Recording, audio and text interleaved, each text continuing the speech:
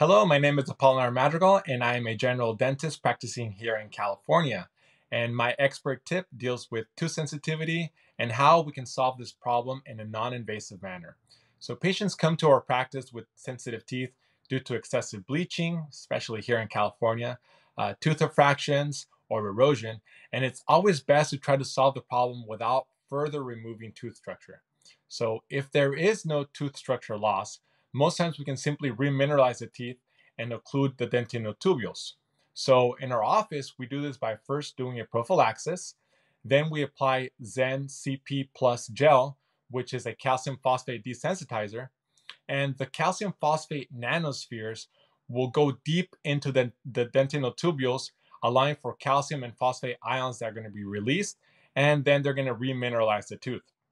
The patient then takes this gel home, and after applying it for about a week, you know, we are able to treat their discomfort in a very non-invasive way. And that's my expert tip.